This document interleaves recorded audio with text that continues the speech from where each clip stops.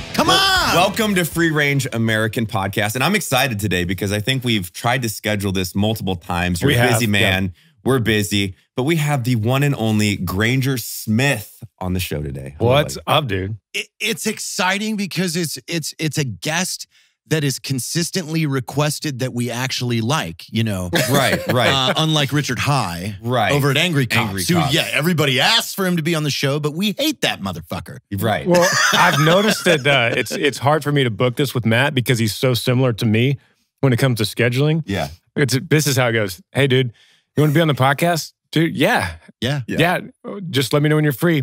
I'm free um, pretty much anytime. Like next week, let me know. Yeah, next week's good for me too.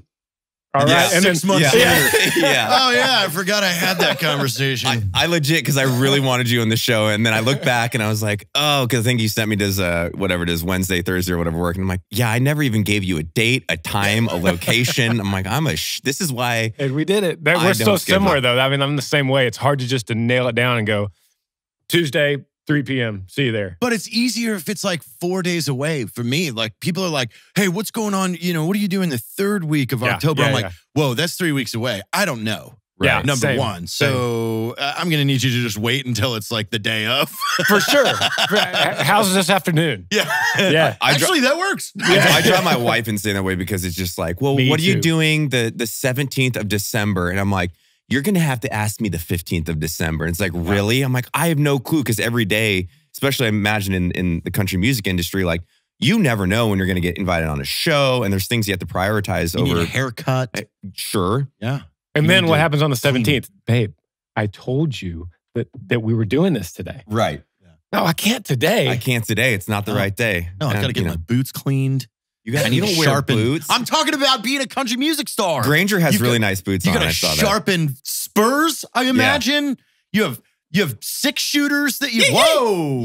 yeah. You've got Yee Yeah. Yee boots. Yeah. Do you got- sell these? Comes out tomorrow. You do? And and Can I have? I'm I gonna want to buy, buy a pair. some I'm gonna buy a pair because I don't own a pair of cowboy boots, and I Yeah. think I need them. We'll By the way, I do have a I have a bone to pick with your friend. What, what and I, let me ask this first. Who's his what friend? what?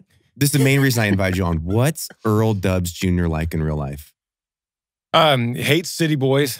Okay. He's uh he's been self quarantining for the last 15 years or so. oh oh self quarantine Mhm. before quarantine Mhm. Yeah, was yeah, like but, wait, a, before he did it on purpose because he just didn't like City Boys. Oh okay. Yeah. But so Earl Dubs has ruined the sta- saying "Don't tread on me" for me because every time I read something that says "Don't tread on me," I say "Don't tread on me." Honestly, he's somebody I think that would be really good friends with me. Like him and I would probably drink gasoline together. Oh, yeah, yeah. yeah. He always throws in those big old dips, the Earl Dubs. Yeah, yeah. So, so if the audience doesn't know, um, on your YouTube channel, Granger Smith, you're like a legitimate country music star. You're you make great music. You're just a great dude. But then you have Oh, this stop it, man. this friend called Earl Dubs Jr., who's more of like I hate shitty boys, and he he makes some very hilarious Those- satirical country songs as well. Those close to me say Earl Dubs, but most people don't say Earl Dibbles. Earl Dibbles? Mhm. really. Earl, Earl- Dib- Earl Dibbles Jr. Oh, they don't know how to say his Those name. close to me say uh, Earl Dubs. Earl Dubs. Yeah. I've got a question for you. Yes, sir. About another country music star that's amazing. You know, he does nothing but write chart topping hits. Uh-huh. Uh, Mr. Unknown Hinson, are you familiar? Uh, man, there was a time. when was that? Like ten years ago, and I was just all over Unknown Hinson. hey, man. he was great. yeah, eat a cheeseburger, baby. yeah, yeah. I Who sent that. that. pitiful girl in here? I Oh, need meat God. after a show. I'm hungry. Oh man, do you know what we're talking about? No, you don't I- know Unknown Hinson? I don't know how I don't So know this. He is the voice. It's Yes, it's yes. so far removed. Like this is where you start getting confused in an identity. He is the voice of early Cuyler on Squidbillies, but Unknown Hinson is a fake country music star who Yeah. is the like the the voice is credited to a Yeah. fake Oh, character got it. That's that. Yeah. exists that tours as a fake country music star. And Does he still tour? I s- as as early as last year, I saw he did a couple a couple shows in Georgia or something like that. He was going around 10 years ago, whenever that was, when it was popular, and selling out clubs everywhere underground. And oh, it's he just has the all comedy. Most batshit crazy songs, Matt. it's just Like, all comedy. I can't believe you're pregnant again. I ain't afraid of your husband. I'm coming over tonight. oh wow. yeah, like, Yeah. He That's like plays. that's like Wheeler Walker s stuff. But it was. cooler. It was. It was yeah, but way he's more of before a man him. than Wheeler Walker. Like, Yeah. Yeah, it was like the. It was like if Johnny Cash was a comedic character that was real. Oh, Yeah, and he looks He's like- like, super cool. and he looks like uh Vampire. well a vampire merged with uh the All right. king. Fucking Yeah. what's his name? Who am I thinking of? Elvis. Yeah, Elvis. Oh, I thought you said a king, the no, king. the king. Who's the king of Elvis. pop? I, couldn't don't think of know. It's Elvis. Yeah. Don't give Yeah. that. No, to he looks. Michael he Jackson. dresses like Elvis, but kind of a vampire. But he's a country music star, but it's fake. Okay. And he's also the voice. It- of Early this is the Time. first time I've ever talked about Unknown Hinson on on anything, and it's funny though because he was he was a little bit in a little way he was one of the slivers of the predecessors of Earl Dibbles Jr. really. Because here's this guy that was a comedic uh, country music character. character. And and in a lot of ways, when we were watching Unknown Hinson and Squidbillies all the time, and like in, back in the van days, we'd put in like DVDs of Squidbillies Oh, and yeah. just watch the seasons. And that there's like little jokes in Squidbillies. I don't think that show gets enough credit. No, it was there's a really well written show. And and and yeah, like he was he was kind of he was ahead of the time because Yes. like he was interviewing. He's one of the first people I saw interviewing his characters on real music channels. By the way, Yes. Like, and it's Oh. funny fucking interviews, and he's just crazy. And like, do you ever watch the the, the fake documentary that Squidbillies did, No. where it shows where he's showing up to the Squidbillies office to do the voices, No. and, and the staff is like, yeah, unknown shows up, and like, we just kind of we we print things out real big, and we get him to say a few things, and then we've developed this computer to just do his voice for us because he's completely independable. like, That is so cool, man. Yeah. Okay. So uh, for everyone listening, homework is check out Unknown Hinson on YouTube. It's still on there. It's ingrained in me because those are my Xbox and PlayStation names, Unknown Hinson. Nice. so well, you and then there's another country because I gotta I gotta make sure I get this right. There's another country music star on your channel as well, right? Outside of Earl Dibbles or Dipples, we'll call him Dipples because he dips Yeah, so much. Yep, yep. What's what's the other gentleman where he goes Uh, here here I am that song? or Don, what? Donnie Cowboy. Is Donnie? Cowboy. Yeah. I, what's the name of that song? Uh, parked up by the lake. Parked out by the lake. Have you heard that one? I, I, think love it because I because think I heard the rough of that one. Remember, like, well, don't tell Granger that I heard that. We don't want to make him mad. Yeah. know? well, we were at your his- house. his you didn't friends like hooked me up. send it around. Yeah. No, I love that song because it's like making fun of country music, and obviously, I'm a huge country music fan. Um, but it, it's all about like, in case you know where I am, parked by the lake. just And it, keeps it just keeps repeating, like, itself as like the dirt If, road if- lake if you want to know where I, It's when when Earl first came out uh, with the Country Boy song, which is that was his first song, uh, first music video, and the music industry was coming out like oh, like Rolling Stone. All these articles were coming out like this is genius. This is making fun of the state of country music and the industry and the the stagnant times that we're in with with lyrics. And I was like. No, that's, that's not at all. We're, we're just having fun. We We're literally were just yeah. having fun. We weren't trying to make a statement or, or tell everybody that country music, modern country sucks. It was nothing. We were just having a lot of fun. Well, I think a lot of that, that's how that content flows. I mean, that's similar to us. We were just having fun in the military space, and people like, this is a great cultural representation of the intricacies as Right, far as the right. growth and stagnant portions of the, and you're like, and then it hard cuts. I literally to just us had a whisk. wasted. Yeah, like, just- oh, let's do a song about this. Yeah. Yeah. Yeah. I, I guarantee you, you have that with your songs. People go, Oh, I know what you're saying. I know what you're saying. I know what you're, and yeah, I love it. I love what the statement that you're making. Well, I was I was a little scared of Earl Dubs because I didn't want to start my fake country career until I at least met you and you had talked to him and said it was okay. So you know now I have a couple satirical uh, country songs that I My question doing. though is: Are you going to pin the two against each other? Are they enemies? Well, um, we had uh, Tyler, my brother, and I, we worked with a guy for a while uh, at our record label that was convinced, and he was a pretty smart guy. He was convinced the next step would be Granger's going to kill Earl. Oh, and absorb his power. Earl's going to die. And then, and, and it was going to be like, this is the death of Earl. He's officially gone. We're going to bury him. We're going to have a funeral. We're going to mourn about him. And then he was going to come back. Oh, wow. He was going to come back and make a, make a, just a big comeback. I Remember like, that? I feel like if there was a comeback At a for him. NASCAR No, yeah, no, it's got to be that. Yeah. It's got to be. It'd be some city slickers like standing around in tight jeans, just like, yeah, country's stupid, and you just see the Earl Dubs fist come through the grate. And No, no, like, it what is- you say, old boy? Yee yee. It You're is like, the "All right." freaking opening show of the Daytona 500 after he's been dead for two Yeah, years. it's like the Undertaker. All of a Undertaker. sudden, Smoke comes yeah, out. Smoke. Yeah, yeah. It's heavenly. There's Yeah. there's white and wings are coming out. It's like Yeah. oh my God. dun, dun, unknown Hinson singing backup. Yeah. You guys are, you guys are on the same wavelength, man. Yeah. Yeah. That's it. You've done some really cool projects. I think the first time I got to meet you in person was pretty cool. You um, shot a music video called Holler, which you haven't checked it out. I actually looked at the numbers the other day. It's over 7 million views on YouTube. And, and what a cool, great production you put in. And, and something that I really, really enjoy about your content, not to sit here and just rip my arm off and pat you on the back, but you we legit had fun that day. You had Yeah. Matt Demolition Ranch character out there, like Lunker, all, all these like kind of more outdoorsy con- conservative, if you say, influencers and, and content creators. And it, there was no the thing that I really liked when you allocated kind of a uh, let's just say a DP or a, or a videographer for each of us. We're like, what are we doing? And you have fun.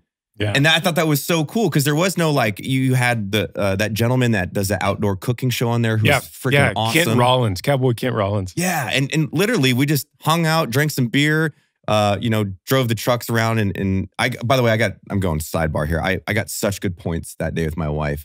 There was that monster truck doing donuts and it shot all the dirt right at us and I just slammed the door on her to leave her inside and got pelted with rocks and she was like that was so hot. I'm like I'm not going to let you get hit by all the rocks, but we legit just had fun That's that day. awesome. Shot shot stuff. Matt blew up something with his 50 cal and then that cut together was it was just a fun day, man. It was, man. It was so fun. And that that that you're exactly right. The best thing that we could have done that day is instead of scripting out a normal treatment for a music video, Yeah. Just we literally just said we'll get seven or eight videographers. We'll pick our our favorite influencers. We'll just have them follow them, follow them around. Which I don't know if you know that one, Jared. I showed up and and we're ha- hanging out the whole day, and they're like, "All right, Matt, you're gonna play the guitar solo," and I was like, Yeah.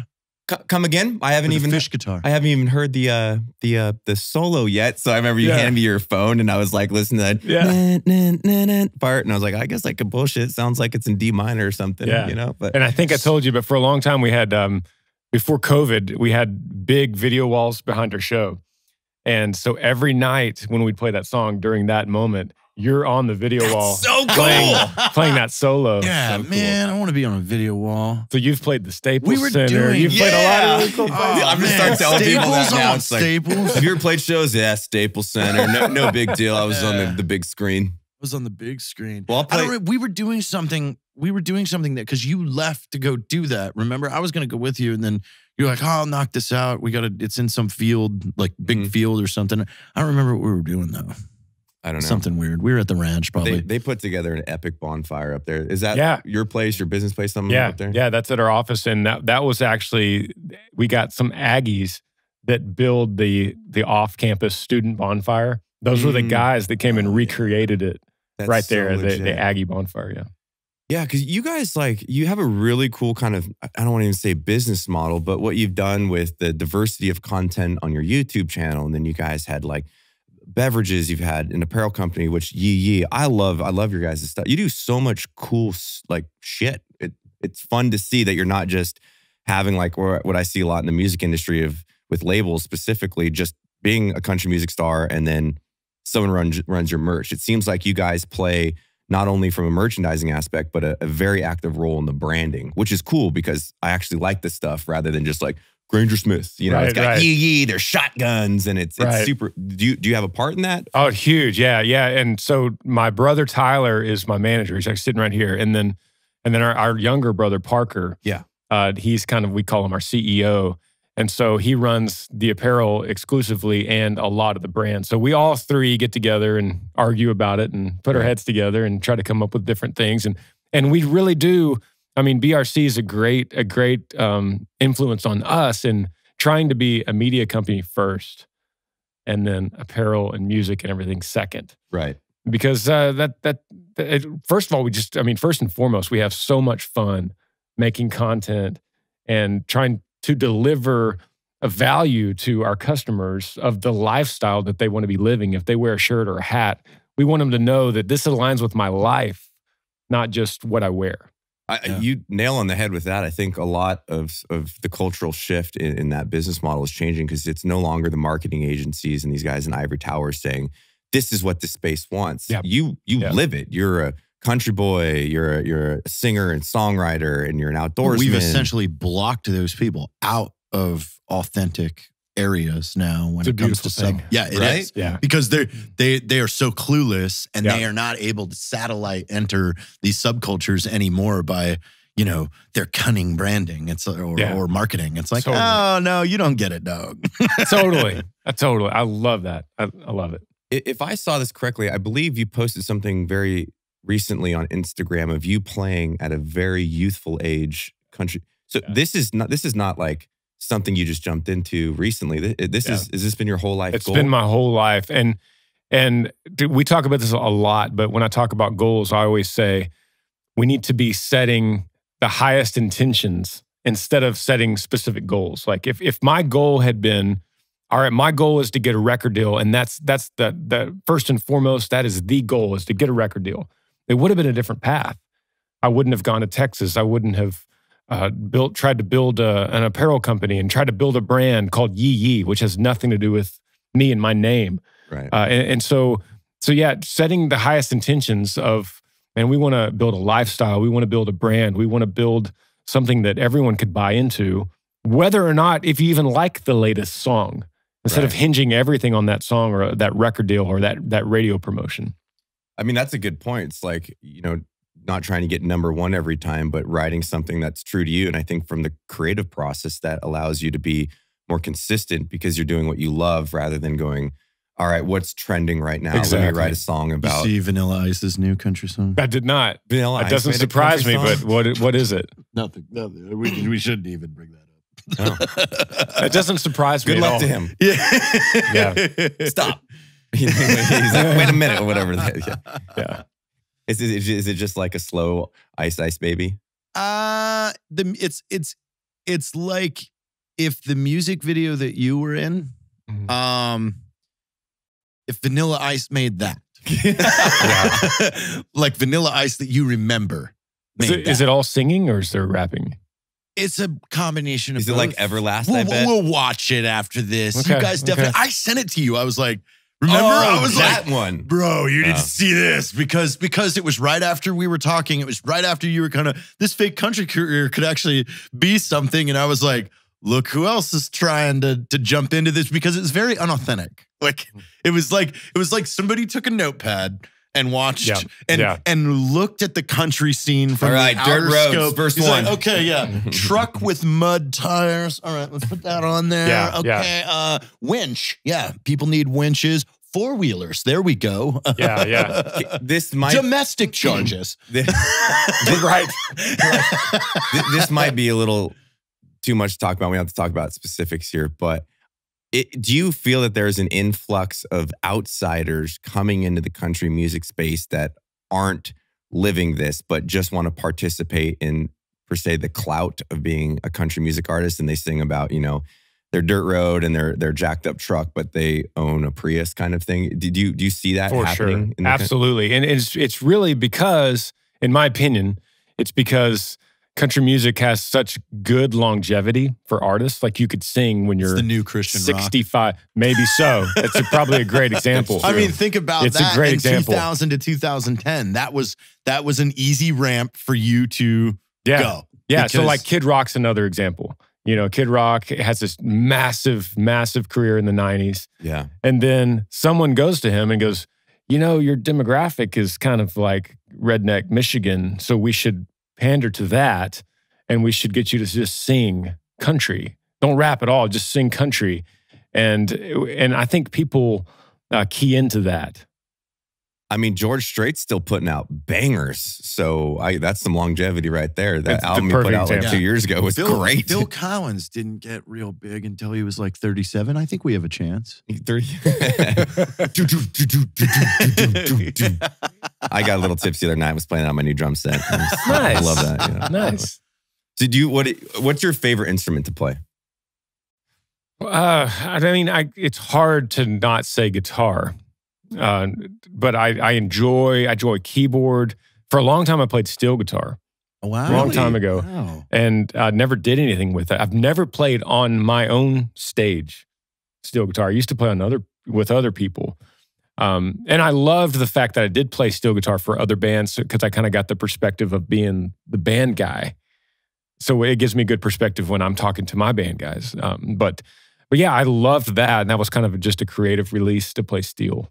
I don't see you a lot on set playing an instrument, you you Yeah. tend to like rock around with just the mic a lot, right? It was weird. I remember the first time I didn't play guitar because there's kind of a stigma like you got you sing Need country music, you your need to hands. sing, you need Yeah. to strum and sing. And I remember the first time there was a problem, a a technical problem with my guitar. And my drummer, we all have these these mics. We talk to each other, you know, talkback mics behind behind the scenes. And my drummer's like, "Just put it down and sing." And I did. And that first time, I was like, "Uh, "What do I do with my hands? You know what? What do you do?" what do you do? And but it, but it slowly got to the point. There was the time uh, when we were like heavily touring, when I would look at the set and I'd go, "Okay, I'm playing guitar two songs out of 20. Oh Oh wow. wow. and that's kind of what it became. Which is fair though, because I think that's probably been the industry standard for a while. And I've seen, you know, people play at the Opry and stuff, and they're great, great musicians, but they're they're strumming their, excuse me, their acoustic guitar and they're Up on their chest. well, and they're and they're missing the chord like changes and stuff, and like you see them going from like a C to an A, and they're like, oh, but they're you. I know that they're completely tuned or turned off for the most Yeah, part. They're yeah. just essentially as a prop, which Yeah. you know I get it adds to the allure, but I mean if you can have more fun swinging a mic stand around, why not? Yeah, and it got to the point where when we started playing these clubs where there was a lot of people, it was easier to go out onto the catwalk and slap hands and fist bump and really react while I'm holding the mic. And I lost that when I'm back, you know, trying to strum and put on a show. hold a pick and everything. Yeah. Which makes sense. I think that's probably why people. I, I literally only go to country music concerts at, at my age. The other ones are a little too rowdy, but that's part of the fun is when the singers slapping hands, like Right. kind of non-verbally communicating with the audience close up. That's what makes it fun. You're like, oh my god, I've seen you on YouTube and you're right in front of my face, rather than just kind of sitting back on a stage like, here's the next song. Do you remember those days when we used to like slap hands and Yeah, Yeah, people okay. COVID. I mean, remember those days when people said network television and not YouTube? yeah, yeah. That's right. That's right. Speaking of that, I mean, I have a lot of friends in the music industry. Wh- What has been the impact of COVID? Because I don't think a lot of people realize venues, you have the the touring musicians, you have the whole support staff that goes into putting on a massive production. Like it has it been as hard as I believe it has been for a lot of Oh, yeah. people? Oh yeah. It's been it's been it's Entertainment as a whole. just completely devastated. And probably what a lot of people, what I found a lot of people don't know is that uh, musicians make today, they make all their money uh, touring because of album sales are so low. It, it's it's turned in, and it used to be all the way up until 2008, maybe 2010, maybe. Uh, people made money from album sales. Right. And then it turned into albums and songs became advertisements for the show to sell tickets. So, you know, during during the heyday, it feels like so long ago when we did this, when we toured. Spotify and Apple Music back now just playing the, Yes. Playing the advertisement to get you That's to the, the, show. advertisement because we're in the ticket business, not the album business, but the ticket business. All of us. And and so you got to think of it in terms of how many people, how many people will this song attract to my show? That that totally makes sense because you know I'm not a musician by any stretch of the imagination, but we've put out songs that get you know three, four, five million views in YouTube. They have over a million streams, and the revenue that comes off of that is fairly minuscule comparatively if you had a team behind you doing it. And I mean, I don't, I don't think a lot of people realize the logistics behind putting on a tour. I mean, from driving the the bus to setting up the gear to sound checks to Yeah. merch sales to a manager talking with the venue. It is a it's a like what does your team size look like on a on a normal tour? Uh, on normal tour we're about 14 people Yeah, total and and so and i've been keeping up with my booking agent during covid and asking him about other bands like how's every other band doing? You know it's like testing the waters. And it's gotten to the point now here we are now where the latest my booking agent said was everybody every single band is now either furloughed or um, completely fired. And definitely every crew guy every sound guy uh, every tour And, manager. ain't- and and what's going to happen is sports are going to take precedent first because they have they it's their arenas Yeah. that are going to and then you're going to have the top 65 arena acts all fighting for those days that they can get. Yeah. This is going to be a 5-year fuck up. Yeah, absolutely. Absolutely. And it's crazy because when this happened in March, we all thought, oh, May, we'll be back. May definitely June. Yeah, they were maybe still May. selling yeah. tickets to that Motley Crue reunion tour. They had a million tickets they had to refund. Yeah. Oof. Uh, Tyler and I driving here through Austin, Texas, we passed by uh, the the arena there at University of Texas, um, Frank Erwin Center, and we saw Chris Stapleton rescheduled for November 2021. 2021. 2021. Holy smokes. Even look at Top Gun 2. It was supposed to come out this July. It's Dude, now July. that might be the biggest disappointment of this whole year. And even then, I think they might postpone it again I'm because try- I don't think theaters are going to be back by next July, and they're they're sitting on that to be like one of their biggest things. I'm ever. trying to see Tom Cruise shirtless, oiled up again. Come on. You know, It's- right? It's going to be great. right? It's going to be great. That well, the but you've been now playing a few shows Mhm. based off of probably is it is it the states and as far as what they're doing, and then I mean I think I saw one on Instagram where you turned the phone around and it was all headlights, so everybody was in Yeah. their vehicles. Has that been in in like what's that experience like? Like a Biden rally. Maybe so. I've never been to one of those. Uh, uh, we did that in the Northeast. We did a run of all drive-in drive-in movie theaters where they set up a stage right next to the screen. That and that was like Pennsylvania and um, Ohio and New Hampshire. And uh, I mean, it's hard to answer how has that been because if you would have asked me two years ago, I said this is terrible. This is the worst show ever. I hate it. But Just to get to play one, you're in like, perspective now, I'm like, wow, it's real eyeballs are watching me. And it's not live stream. I hate live stream shows. I hate it. And that was cool for like seven days in March or April. oh, so you've been doing some live We, stream we started with that. It was like, well, this is all we could do. Let's do some live stream shows, bring the guys to what we call the Yee Yee Farm, and we'll do, we'll do like Venmo tips, you know. yeah. That was really cool for like seven days. And then it was like, man, we gotta we gotta play some shows. And so then the drive-through shows and the or drive-in shows and whatever else we got to do, depending on the state, like Missouri, South Dakota, states like that, no restrictions, nothing, okay. just a regular concert. oh, sweet. Yeah. Texas has been kind of right in the middle, like we, Florida's that way now. Too. yeah, yeah, exactly. Yeah, I thought it was interesting when I came down and said hi to you when you guys sent up here in San Antonio and you see like the four to six chairs and they're all, you know, in, in a group there, but then they're socially distanced from the other one. I'm like, be weird as a musician normally having everybody in front of you and high energy and then everybody's sitting down and they can't get up and they're just kind of like And- bobbing their And heads the to the thing music. is, though, is, is what we don't realize is this is going to take probably 10 years to repair. Like, because people aren't just going to rush back to it's such a stigma that Yeah, no one's going back to shoulder to shoulder anytime soon. It's like we've been trained. So it's like this is going to take a long time to and like repair. luckily, country music, people are typically more conservative, more willing to go out. And I look at it as like, man, we we could be, and this is a stretch maybe, but we could be essentially saving lives by putting on a show and by br- getting people to go, you know, I got to go out and drink a beer. I have to hear a, a real drummer playing drums, a real guitar player, feel it and drink a beer. I have to, or I'm going to go absolutely crazy.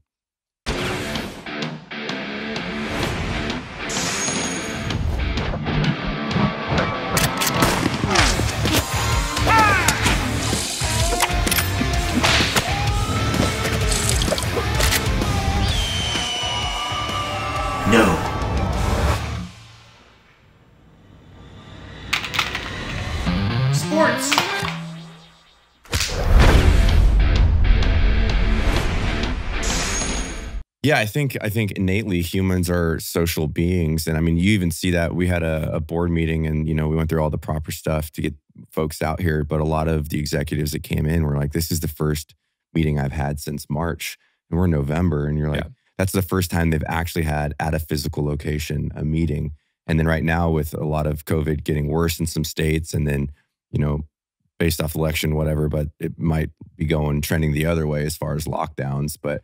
Yeah, I think it's super unfortunate because that, that entertainment industry took such a massive hit, and there's a lot of good people that are unemployed. And I'm wondering if there's going to be some form of technology or something that comes out that, like, hopefully gets these guys and gals some form of income. I know a lot of those uh, singer songwriters have been going on like Twitch and performing there and the live streaming, but you can only get so much I out mean, of that. think about think about how much this this like go the opposite direction where think of the guys out there that were in kind of the smaller tier band that just got Yep. picked up by like a Breaking Benjamin or you guys like, oh my God, I just got noted. You know, Right. January, they were notified I'm opening for Granger Smith for the rest of the Yeah. year. And then Yeah. boom, February, March comes and it's like, dude, those guys can't survive. They No. have not, they have not Wow. crested like the way that they earn their money yet. So it's like, how many acts were just dismantled over this? I think about that. I think about those guys, I- and I, and I, we wonder. We talk about, and we're lucky we have Yee Yee. You know, we're so lucky to have that. Where I'll- literally some of my band guys are working for us shipping T-shirts, but but thank God we have that because there's guys.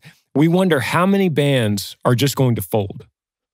Like how many bands are going to say, "Well, I'm just going to go work for my dad and hang drywall." I might as well, uh, because that's secure. Well, yeah, and they're on the cusp of you know fulfilling their lifelong dreams of playing. I mean, that's that's rough. It's super rough. I mean, no other way to say and it. you can put that across the board with entertainment though. How many productions? How many how many guys got a greenlit script Mhm. finally from a studio or for a show or from Netflix or anything and then boom, March uh-uh, everything's pulled. Oh, by the way, we have to furlough a bunch of people like it's like Yeah. how many things that were about to take off someone's career that just disappeared. Like Yep. like the fucking snap in Avengers. But but Yeah. the silver lining in this is it gives you a little free time maybe to make a country boy band with us and Yeah. launch some Horseshoe. ridiculous content because that would be fun. One horseshoe. We still need to film the video for uh White Claw. White Claw. Yeah, because I really want to make Tim Montana jealous that I'm working with you, you Mhm. know, just to Mhm. really just drive that little, you know, Bring it on. little knife in his side. I'm in. We'll just work out a schedule Yeah, Yeah, yeah. next week, Let's go. Wednesday. Uh, Yeah, sometime Sunday, next week. actually. Sometime Yeah, next week. yeah. We'll we'll write that song sometime next week. What, what's your favorite part? It seems like is it touring and all of this? I mean, you get you got the brand and all that, but as far as a musician, is it the touring aspect? Of yeah, it all? it's those 90 minutes on stage. Really, uh, it, it 90, gets that's a long set. it gets you know the touring part. I've I have loved it, and I I have fallen in love with like camaraderie of traveling and and eating the local food. But at the end of the day, even that stuff starts starts to get old. It all starts to look the same, and you get to the point where it's like just those 90 minutes on stage makes it worth the trip. Does it ever get old? Because I I have like massive ADHD. That's why I like playing leads on the guitars because I don't like strumming the same chords. Is it is it ever where you're singing and you just kind of are in that mundane? This is the song, or is that what makes the crowd so interesting? Because you're that's the performance, the one time that they get to see. So you're like kind of doing your best you can right then and there. But I'd imagine if you're like ACDC and you're singing Back in Black when you're 60 years old, you're kind of like, man, I hate this song. Like it was great when I wrote it, but man. Yeah, it's for me. I know that changes with other people, but for me, it's all about how the crowd is responding to that song. It doesn't matter if I played it a million times. For me, if they're going absolutely crazy, You're So if you're gonna AC throw more Yeah. energy into it. yeah, if you're ACDC and it's back in black and and they're going crazy, I'm like this is great. We're living the dream. And it's funny you bring that up because just recently, like in 2019, I had a meeting with the the guys, or maybe it was like the end of 2018.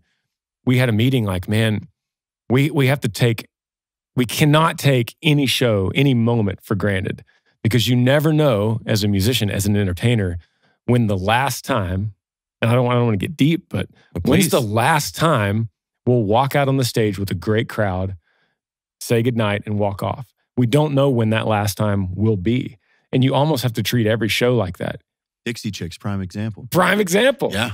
It's so, you, you know that old saying that was going around the internet for a while that was like, at, at some point in your life, you went out to play with your best friend in your old neighborhood for the last time and you didn't know it. You know that that it's a sad reality. I think, especially in the entertainment industry, right? I mean, we we've thought about that, and there's a reason that we were so focused on building a brand because we're like we wanted to have a far, far longer life cycle outside of me going, "Hi, I'm Mat." You know, like luckily we love entertainment. We've pivoted and done different creative things, but you, completely, you never know when you're not current anymore. And luckily, country music, you got hopefully will have a very very long lustrous career. But yeah, you never know when people are like.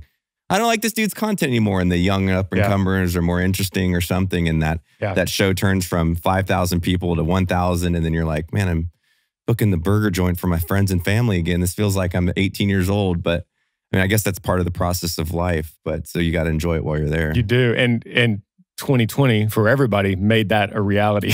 Yeah. very, very. We're back true. to the burger joints again. Yeah. me, uh, let me That's so bring you on the other end of that spectrum. Yeah. When was the first time you saw the crowd singing one of your own Nice. songs back to you? Because Mhm. I've yet to experience that kind of yet. I mean, we have our funny songs, but I think like like that's kind of my next huge goal Yeah. is I've never had a serious song and I've never been on a stage and had them sing it back to me and I I have this feeling that that's going to be a very a very prime moment. You're right, man. That's a real feeling because you go from being what we call a fish in an aquarium, where you're just like you're the fish, and there's a bunch of people outside the glass just entertain me, fish. You know, as, as they're drinking their an beer. opener. You know, Right. people don't generally know Right. your music yet. You're just there, and it's like it's you're in that stage where you're growing, you're getting Yeah. the name out, and things like that. So you go from that to the fish in the aquarium to, for me, I, I was going to Texas A&M and I wrote this song about the school called "We Bleed Maroon," and it was like a, a a little bitty hit in that town for those people at the time. And I remember people would just pack into these places, and I remember that moment. We played this place called Hurricane Harry's, and which is a terrible place, but the name's cool. Come on hundred. down to Hurricane Yeah. Henry's. 800 people came and they That's were all show. waiting for that one song. And I was so nervous playing the rest of the set because I was thinking, no, I don't, want, I don't want people to leave. I don't want people to go, oh, I'm waiting too long for the song. And then when I played the song, I was worried that they would leave right after that song. Like, I can't, I got what I came for. I'm going to go to the next bar down the road. But it was an incredible feeling, them singing it back, but terrifying at the same time that I didn't feel justified for people, 800 people buying a ticket to hear one song Right. and being disappointed. Did you play it like three fourths the way through? It definitely wasn't your opener. It definitely won the open, and, and it's a lot of thought behind that because it's like you don't want to play it at the very end. You, that would really piss people they off. know the lyrics better than you. Yeah, yeah. like, so you have about three fourths. but that's good. If you tend to forget a lyric, you're like, You're "Ah, looking at. Uh, oh yeah, yeah, got it. Yeah. Oh, there it is. Thank you, thank you, thank you. Perfect. Yeah. that, so that, not to get too technical on you, but is, so is there a lot of thought with your team as far as structuring what the set list looks like? Because I think people just think you just go up there and practice, but when you're performing live shows, not to take, you know, but I, I played some stuff where you there has to be great segues, and then there's Yeah. portions of there where I'm sure we're like, okay, after Holler, we're gonna do a band introduction, and I'm gonna go Fish is on the guitar, whoever's on the drum, bada bada bada bada. Like, is there a lot of thought in structuring what a set list looks like? And I'd imagine that's somewhat current to what your hit is or Yep. the, the town favorite song. Yeah. Every night. It's a, it's a lot of thought. We have You do that every night? every night we have uh, what we call a production meeting right after sound check we all go back to the bus we all sit down on the couches you know we kind of wrangle everybody's brains and get them focused on what we're doing. And it's a built uh, it, yeah partly on the hits of the time but sometimes the hits of that market are different than another market. So Right, we go to salt lake that we know that they're going to like this song but when we go to chicago it's a, it's a they don't even know that song. So we we kind of tailor it to that crowd, those people, and then we have to build those segues and kind of build that roller coaster where okay, we're going to bring it down here, and this is going to be like acoustic. We're going to be on stools and kind of get a moment, and then we're going to build it back up, and then Earl's going to come out. You know, so we, we try to just kind of build that roller coaster every night. Earl has his own bus, doesn't he? He just shows up late in his own pickup. Every No, night. in his own pickup. Yeah, He's yeah. I know. Yeah. Yeah. Come on, boy, let me drive that thing. That- that's cr- do you guys go even like super technical on it where you're looking at like consumer analytics as far as your YouTube comparatively to that city and see what that viewership is or is it more of just like intuitively based of what they're going to want in that that city state it's more intuitive. It's more either either we've been there before and we know Got those people, but even before that, before we were we knew people, we would follow social media. We just go, oh man, they're everyone's saying they want the country boy song. So let's make that like th- the pinnacle of this set tonight. all right i'm asking you some two hard questions Yeah. first one what's the absolute worst show you've ever played because maybe weather or you know You were it just- hammered. you got beers thrown at you because they're like you ain't no texas boy like what, what's Yeah. the worst one you're like i guess we're just gonna keep singing Yeah, uh, there's been a lot. I mean, there's there's been a lot, but uh, I would say I've, I've been injured several times, and so I'd have to Oh, damn. put one of those as the as the top of those. And The worst one was in um, Sayreville, New Jersey, and I fell off the stage and hit the uh, the barricade, metal barricade, Oof. and broke two ribs, separated them completely, and one of them pierced my lung. And so I, first of all, you're going you're going through the the a little bit of adrenaline and embarrassment of you just fell off Yeah. the stage. Well, looks like we got another viral video on YouTube Right, of me falling right. off the stage. so I'd rather fall off the stage than get hit by a dildo. that's debatable. The- the- the- I don't know Uh, about piercing a lung as a singer. That sounds Yeah, pretty is terrible. true. Who was it that got hit by the dildo? Was that Dave Chappelle? Or that was a banana? Uh, Somebody, they threw a dildo at somebody. Probably. It's fair to say that. I mean, that's a good. That's a funny talking point. At least you could finish the show, True, true. you know, intact. as long as you didn't think it was the microphone by accident. True. Did, did you finish the show? So luckily, we had had many discussions before that show that the band knew never stop playing because that makes it worse. Like the band stops, that's yeah, worse. guitar's like, yeah, yeah, yeah. And the drums like, Yeah. Yeah, you're right. So my drummer, he knew I'm not stopping. I am not stopping. Like Granger, I can't even see him. He's off the front of the stage there's down. smoke, haze, everybody's Yeah, I'm still just gonna keep going. Fuck it. And this was this was a great show. Technically, I mean, there was a, there was a lot of people. They were having fun, and band never stopped. Never stopped until I got all the way back up the stage. You know, waved at everybody like I'm good. I wasn't. My tour manager goes, "Are you good?" And I was like, "No," but kept singing. Finished that song. Played another song. Luckily, it was at the end. Finished that last song. Walked off the stage and like, man, I felt something crunching in here. And I was like, something's not right. So he had he had a ride ready, and we went from there straight to the emergency room. That's a good old boy right That there, though. You hurts finished the set with the Yeah. separated ribs and a punctured lung. Yeah. What? Okay, second hard question. Yep. Uh, what's like the biggest mess up, not from you, but a band member where you're like singing you're like, that's probably That's your last show. Have you ever had one of your band members just like completely screw the pooch on it on set? Yeah, there's been many of those too. I mean, you play enough shows, you have enough of these these problems. I've we've had many shows where somebody has started a song in the wrong key. Oh, shit. Like that happens. If it goes too high and then you're like, three, not you're like- you idiot. That's that's the example. You you're like, I can't sing that high. Yeah, so you switch to capo, and it's worse than singing high. It's like half the guys know that it happened, the other half doesn't know it happened. So when they all come in, it's like two different keys, which is just terrible noise. So that's happened. Then I remember one time in uh, in Vegas. Vegas is a terrible place for um, for for a lot of things, but it's a terrible place for uh, RF on your your ears that you're you know Okay. the the signal that you're hearing. So a lot of times, most of the time, we we only hear through our ears, Right. which are RF powered. Yeah. In Vegas, we were right by an airport, and it's shit. yeah, it's terrible connectivity. So I remember one time it was a big crowd, big festival. It's actually the same the same festival, Route 91, where there was the shooting. It was the year before that, and we all lost signal about the same time. So the catwalk is 50 feet long. I'm out on the catwalk. The drummer loses it. The bass player loses it.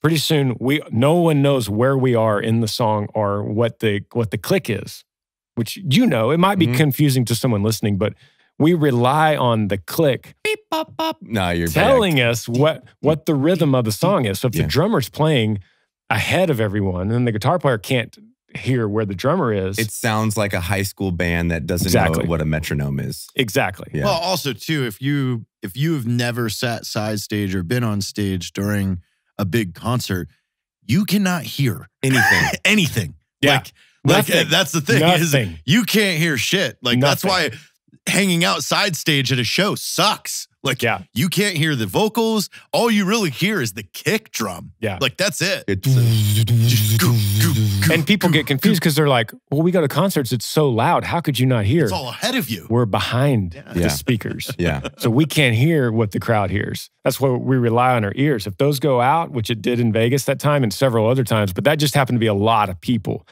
And that's that's one of the shows you're talking about where we walked off and we're like, we quit. We're done. Really. Everyone hates us. We're the worst. We're the worst band ever. Did you guys just keep playing the song and wish for the best? Yeah, we had sound guys running around trying to hardwire the packs, you Oh, know, like running lines to, so that the drummer could hear. And the drummer, our drummer Dusty, was actually looking at our bass player, call, like mouthing one, two, three, four, two, two, three, you know, just like Yeah. mouthing it, which barely helps, but it was terrible. yeah, I think that's a good part about if you don't about like live shows is especially now there's so much technology involved with that. When you look back at the old school, you kind of had a playback and a speaker that would just you had your own speaker, right? And you could hear your Yeah. voice, you could kind of ah, find where you're at. The drummer hat is everything. But now you guys are running around, Yeah, monitors running out don't the exist on this shit. Yeah, there are it's no- too big. Yeah well, yeah, especially those big venues, and it- like you, if you're running out in the catwalk, you're you're in between what the, everybody's hearing and then the band's behind you. So I'm sure the only thing to guide what you're singing, the tempo, the everything is in your ears, yeah. and that's why you'll see a lot of guys like adjust their earpiece based off of what they're hearing, right? Yeah, and and the, as a singer, I could always drop my ears out and I could make it. I could even not sing, and people are going to be okay with that. But when the band starts getting all flustered Yeah, and it's out of fucking- rhythm, it really gets messed up, and that that's what happened that night. Did did you get bad feedback from that? You get a get a one star on Yelp. Man, I, I don't. Is there Yelp for The- bands? More like Granger shit, not Granger. You're like, wow, guys, we lost our RF single. The reality is, most people don't care. They're at a show, drinking, they're having fun. They don't care as much as we do, but we're thinking about how much better we could have been for them. Yeah. Right. And then and then what really sucks is we start thinking about what the other bands that are watching us are thinking on the side of the stage. they're headlining. Yeah, but they know. Right. They know too. Like, I mean, we, They I, uh, when we were in Florida, I saw, I saw Asking's ears go out, and Danny just stopped it. He was like, "Stop!" He told the crowd, "Hey, we we lost. Like, we're gonna f- fuck this up worse if we don't fix this real quick." Crowd doesn't care. I They're wish- like, okay. Sometimes I wish my personality was more like that. Yeah, I've never done that. He just started doing comedy. Like, Yeah, yeah, yeah. Like, I- I'll tell you I- some jokes. yeah, I I'm I'm much more let's just fake it till we make it. Yeah. You know. Third hard question. Okay, okay. Heard Turnpike's making a comeback. What do you think? Really? That's really? what I, that's word on the street is that he got sober and he's coming back. Man, I had there there's some crazy stories with those guys on the road. Yeah. Like that's that's a band where he'll wake up and like the first beer comes at 7 a.m. And he stayed up till six drinking. And uh and and it got to the point with those guys. I don't know them that well, but I know guys that have worked for them. It got to the point where those guys they just didn't talk. I so they didn't talk. I did. I'd never heard of them, and I went to one of their shows when we first moved here uh, at one of the really cool amphitheaters up in New Braunfels or something. Yeah. and obviously the show is good. Their music's good. Yeah. but three quarters of the way through, I'm looking at the people that brought me there. I'm like, that dude is wrecked. Yeah. Yeah. Yeah. I don't think the touring life's for everybody. You don't have to give specific names, obviously, but have you ever like, man, I look up to this this singer, and then you're like, he or she is just a shit show, like hammered, doesn't care, screw the crap. I feel like Yeah. some people would be that way. At least from- Totally, totally, man. Yeah, yeah, yeah, there's a lot of bands like that. I mean, Turnpike's probably a good example, but like you said, touring's not for everybody, which is crazy to think that you could be a musician and you actually love music and making music and writing music way more than you like performing it. In fact, you can get to the point where you hate performing it, but you become a slave to it Yeah, because that's your income. That's your, like I said, that that becomes your sole dancing monkey. point of and yeah you're the dancing chicken on the stage and you're doing it just to pay the bills and you mm-hmm. actually hate it and you could see that when you're at a live show and you see a band you could see oh they hate this they hate this Ask Jarred. I hate performing live. Yeah, he does not like I like. hate live. it. I mean, we He's did. always trying to twist my we neck did to perform. two. We did two days when we did a live comedy thing. One one night in Denver and one night in Colorado Springs, and I actually kind of all of us were like, "Yeah, this life stuff sucks." like this life, the life Yeah, of it. Like, yeah. yeah. I don't know. It doesn't suck, but it I, It- it was hard. It's hard. It, it is, and, and I that think was two two performances. Yeah, you have to have an affinity for it for sure because that's the same thing, you know, and we stayed out and did a meet and greet after, and then you're waking up, you know, at like 10, 11, you're like hungover because you stayed out late with everybody, and then you're doing sound check at Prepping and getting ready two, to go, and your yeah. voice is smoked, and they're like Yep. trying to get ready to play guitar, and your fingers are swollen from the whiskey. I'm like, yeah, I wouldn't be good at this. Yeah. I need a day off. that's not rare that you say that and you you have to love it you have to like intrinsically love to perform love to play live if you don't it's going to catch up with you at some point absolutely How have you maintained your angelic voice for this long? Is it because Because well, luckily, country I'd imagine is a little easier on the vocal cords. cinnamon and lemon. cinnamon and lemon you can ginger tell tea. he takes a lot. Look at his skin. He's got great skin. Yeah, that's, that's a lot of Yeah. cinnamon in his He's a diet. good looking Cinnamon, guy. huh? I Fucking see what your cinnamon. sees. Man, I'm Cinnamon. jealous of that shape. You know, Maybe I should try I'm that. shaped like a pear. Cinnamon lemon. Uh, Like vocal coaches or I, a lot. I, you know what?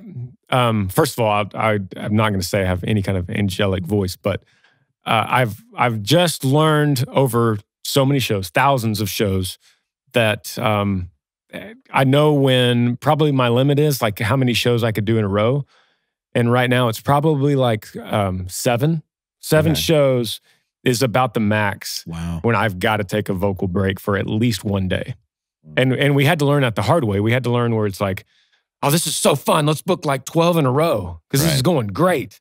And then you realize we probably shouldn't have done that ninth show. We were terrible. I think the hard part with that too, because you've seen some people like, God, this band's terrible live. And you're like, they're actually pretty good. The singer just probably blew a vocal cord and he's Yeah. like rasping, like, They're "So 13 13 days into this. Like, Yeah. Oof, man. Yeah. Ooh. That does not sound good. And I have. I've I've uh, blown a vocal cord. Oof. I've, you name it, I've probably done it. Yeah. That's Lungs, me. vocal cord. Yep. Yep. Man, thank you for your country music service, dude. Yeah. This is kind of hard. Yeah. I'll write a book called Thank You. Thank you for my service. Yeah. Oh, fourth hard question. Uh oh. The Cash Me Outside girl has started a music career. Any thoughts on a feature? Hmm. Okay. I'm, I'm down for that. It's 2020. Might, might as well, right? I'm up Baby, for cash me outside. I'm down for that. do you do you ever do features? Because uh, I mean, or or is you just kind of practice on solo? Because I don't know if country music's different, but like rappers and all of that, that's part of like the marketing persona is getting features, getting Yeah. you know. I see a female feature is more prominent in a country style, doing a duet, you know, type thing. It's true. You don't see a lot of male on male. No, male. there's no male on male. Yeah. What's What's I crazy mean, is there's um, channel. the, the, definitely country market, as you know, probably has gotten a lot more into features. But the funny thing is, we're sitting here today literally because of features. Because for Holler, Mhm. that originally was like I I texted Jason Aldean and Luke Combs and all a lot of uh, Florida Georgia Line who we talked about earlier. A lot of these guys, I was like, hey, do you want to come? We'll just we'll just have this crazy party and and just sing. And all of them, every one of them, 100% said no. Oh. So I was like, okay, new direction. So I was Let's like, call all right. these crazy Texas And boys that will show up I in their don't- you know Raptors. what? it their changed my life. It changed my life because of that. Really. I, I gotta, I- and that's where I don't understand the music world because I've thought of that often. Like, how viral still to this day is Garth Brooks showing up at a Justin Timberlake show randomly? Yeah. that's that video has been viewed. Uh, God knows how many billion times. Yeah. like the audience went nuts. They Yeah. thought it was the coolest thing ever. Why don't entertainers do more of this shit? That's the Like name. it's funny. That's the name of the band. Then country crossover. I would say one horseshoe. I would say laziness. I, I really think that's the best. There's a lot of red tape in politics. It's like, do I want to be in holler? Uh, I don't know. There's gun, there's a couple guns in there, and I, I don't. I don't know. I don't know if that's a good look for my image. So there's a lot of that, and then I think there's a lot of just like, eh, I'm good. That sounds like I got to get on an airplane again. it's just so they don't they never take in the aspect of how excited that would make. Well, I don't The even bass. think you Right, had to. right, it's, right. It's not discrediting the artist, in my opinion, because that, No. that a lot of that happens from the label, and bless their hearts, but they're using kind of a more antiquated methodology associated with how to market a band or a musician, and and I've seen that working. I don't with, bless any label's heart. They can all fuck off. all of you. Everyone that works for a label. it can, it can be challenging, right? Because you have this marketing staff that has this brand persona of what you should represent, and then that mild, like, "Ooh, we're country, but we don't do guns," you know. And and I can see their thought process in it, even though I massively disagree with it. Because they don't understand their base at that point. We're country, but we don't do guns. We don't know who listens to our music. right, it's just it's a, it's a- Right, it- right, it's right. the same thing that's happened with our brand, eh, you know, early on and, and still to this day. Is so people are very risk averse. They're they're they're terrified of what they don't know, and they might see, you know, an ATV getting flipped, like when Robert Oberst flipped that uh, ATV, and be like, "Oh my God, this is dangerous. We can't be a part of it." It's like no, we're about being country guys. We signed waivers and we're like, Robert, don't take that sharp turn because you're going to flip it, you 350 pound gorilla. Like you are, I don't want to make him mad because he'll just, he'll, he'll crush me like a soda Yeah, can. I He's He's love got Robert. a little dog though. yeah, he's got a little dog. He's It's got cute. a little dog. But he like listened and stood up immediately, and everybody's laughing and had a great time. And I think a lot of people are very risk averse when it comes to that style of content. Yeah, sure. And what's crazy is that we everyone loves to say they, they like kind of demonize a record label. You know, we we've all been there. Everyone listening probably thinks that. But the the funny thing is, they're all normal people. They're all most everyone on my, on my label. They're good people.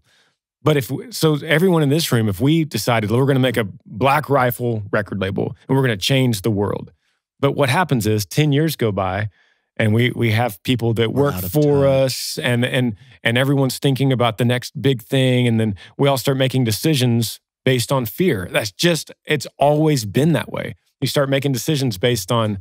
I Have don't you seen know our if commercials? that's a Let's good- not put a Black Rifle Maybe label not. that way. Maybe We'd be not. like, Come on. Send it. Yeah, yeah. Go for it. Yee yee. But if if Black Rifle did Right. and they were successful, they would be the first Right. record label to ever not be driven by fear. So it is kind of normal that that just happens. Hmm. Yeah, I think more people are are, are, are fear oriented as things scale because a mess up drastically impacts like the, you know top of line revenue, and it's easier to be safe and just kind of can, like live in the space that you do. Yeah. And so you could flip it and you could say if Black Rifle made a label and then 10 years down the road, there's some guy who's anti guns, but he has a huge following and he's got a great voice and he's got, he could bring a lot more people to the table. But we would all sit down and go, I don't know, he's anti gun. That way we might lose our fan base. And we would all have to think about it. I'd fly him out to the range, let him shoot, and see that it's a tool and not this demonized weapon that he's been socially constructed to believe in, and then we'd mind. flip him, and then he'd be our top Yeah. performer. Then it would be successful. There you go. In a perfect world. Done. That's done. Fifth hard question. Oh, yeah. man. Wow, we're still going. How many, how much percent off is Lord Hot Dog get you at the Yee Yee store? The code. Are you going to be a brand ambassador for Yee? I just heard I don't a know Lord if you Hot Dog fit. code. I don't know if you fit the What do you brand mean persona. fit? What do you doesn't have XL? No, I don't know if you fit Oh. the brand We, persona. I've had a I've had a Black Rifle code before. Mat gave it to me, so we'll just do whatever he did. Same code, same discount code. We're gonna send people over to Yee Yee. Perfect. You got had you what's the plan for that brand going forward? Just kind of keeping up with your doing. Like are you guys planning on doing any new product releases? Are you sticking with apparel merchandise? You know? Yeah, I was talking to uh, Lunkers TV, Mhm. and he was like, "Dude, you got to sell it. Like that's the goal. Sell it. Sell Yee Yee. Get out. Get out." And I was like, "But then what would I do? Yeah. And I'd be so bored." Right. And and he's like, "Well, then no one's told you the right price yet." I'm like, ah, I don't know. So it's it's an interesting question, but yeah, we want to just keep growing it. That the the immediate goal here, I am talking about goals, but if you're setting your highest intention, then the, then that goal is separate it and have it live completely on its own without music. Yeah. Yeah. And so I asked my youngest brother Parker a lot. I'm like, could it live without music? And he's always like immediately like, yes. But then me and Tyler get together and we're like, nah, we probably need another song. So I don't know. Well, I agree. I think that, that that's similar probably to our brand. The whole goal early on was not to be reliant on certain individuals and or specific content to that person and the brand stands alone. But I think you do lose certain aspects of that brand because I think of Yee Yee, I think of you. Right. Like I think of Granger Smith. I think of you rocking Yee Yee. I think of Earl Dubs. I think of all the fun stuff on your channel. That's what I think of. And But so- then the branding's fucking cool and it's standalone. And I think that's a great kind of correlation between two brands, you as an individual and then Yeah, the but brand. it's putting you at a brand position now as you grow to say, okay, how do I spread this out? How do I spread this weight out? Right. on So the different goal is would be able to separate from from me over the years where eventually my son could be CEO of Yee Yee. I'm long gone and and the company is still growing in its own right. That would be the goal. You're not long gone. You're a cute grandpa that sings campfire Still songs. Still singing. okay. Still and we'll be in a country boy band at 80, you know, I'll singing take it. together. yeah, two horseshoes. at that. That's good. You got you got uh releasing so you uh you just launched an album, right? When what month did that come out? Yeah. So September, the end of September, we put out the first of two volumes.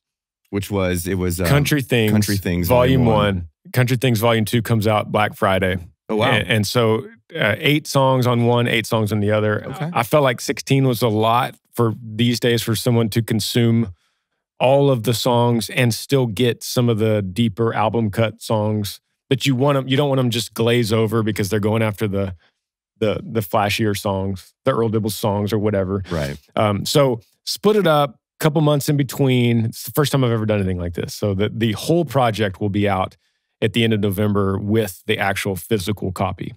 Do you do you have a lot of creative control over what each song is going to be? Because I know historically I've heard bands speak to, you know, they have six just absolute bangers of a song, and albums sometimes will be like, we're going to put three on this one Mhm. to make sure we save those epic ones for later. Or you kind of have that creative ability to be like, no, this is what this album looks like, or or is it more of a team cohesion with the label as well? Yeah, I mean, I mean, great question and totally valid to probably a lot of people. For us, I'm very lucky that my brother is my manager. We have 100% control over our albums and every song. And the way we look at it is if we have six great songs, we're going to put them out right now on this album because there might not be another album. Yeah. Or we might have written, hopefully, we've written better songs Mm. after that anyway. And that's happened. I, I've had I've had songs where I've said, I've got something kind of like this, and this one's great, but I'm going to save it. And it never makes the next album. Never. Zero percent of the time does that song make the next album because you've already outwritten it or you feel like style, you're a little bit different style now. Or but we're very lucky that we have hundred percent control over what we put out.